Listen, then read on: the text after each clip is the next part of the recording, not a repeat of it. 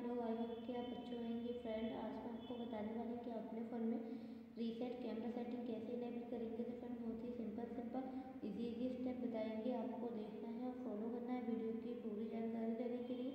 Video last तक ज़रूर देखना। अगर फ्रेंड आपने मेरे चैनल को सब्सक्राइब नहीं किया है तो बेल आइकन दबाइए चैनल को सब्सक्राइब कीजिए। तो फ्रेंड आपको ऑप्शन देखने को मिलता है फ़ोन में कैमरा कैमरा को ओपन कर लेना ओपन करने के बाद में इस प्रकार का इंटरफेस ओपन हो जाएगा यहाँ पर आपको ऑप्शन देखने को मिलता है फ़ोन में यहाँ से आपको ऑप्शन देखने को मिलेगा फ़ोन में थ्री डॉट थ्री डॉट पे क्लिक करके आपको यहाँ पर सेटिंग के ऑप्शन पे क्लिक कर लेना सेटिंग के ऑप्शन पे क्लिक करने के बाद भी यहाँ से आप अपने फ़ोन में काफ़ी ऑप्शन ओपन रहेंगे। जैसे कि आपको अपने फ़ोन में रीसेट कैमरा सेटिंग इनेबल करना है तो आपको रीसेट पे क्लिक कर लेना रीसेट पे क्लिक करने के बाद भी यहाँ से आपको कन्फर्म अगर रीसेट कैमरा सेटिंग करना है तो आपको कन्फर्म कर लेना है। यहाँ से आपको कन्फर्म करने के बाद भी यहाँ आपको ऑप्शन देखने को मिलेगा।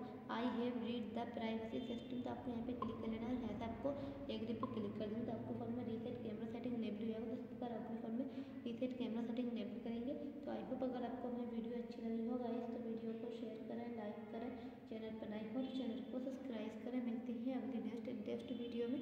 जब तक के लिए बाय स्टेक की